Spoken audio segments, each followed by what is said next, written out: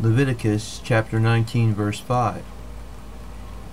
And if ye offer a sacrifice of peace, offerings unto the Lord, ye shall offer it at your own will. If we thought we wanted something and it didn't work out, count it all joy. God was protecting us even if we do not realize it. God's blessings be upon you.